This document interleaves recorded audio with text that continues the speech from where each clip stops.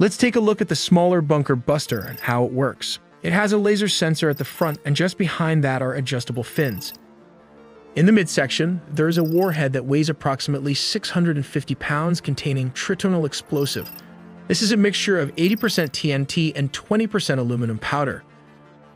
Finally, we have the retractable fins at the rear. To give you a better sense of its size, comparing it to a person can be helpful. The casing has a length of approximately 19 feet long, which translates to around 5 meter. This section is made of an artillery barrel, which is very strong, and has a diameter of 14.5 inches, which translates to around 37 centimeters, making it relatively narrow. They intentionally made the smaller cross-sectional area. This means the bomb displaces less material, whether earth or concrete, as it penetrates layers of reinforced bunkers or building. The smaller cross-section allows it to enter deep into buildings, potentially avoiding steel and concrete.